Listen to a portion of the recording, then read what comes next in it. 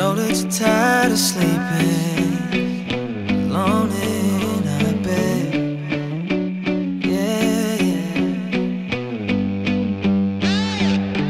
But baby, you're not the reason I moved to LA. Yeah. And maybe I should let you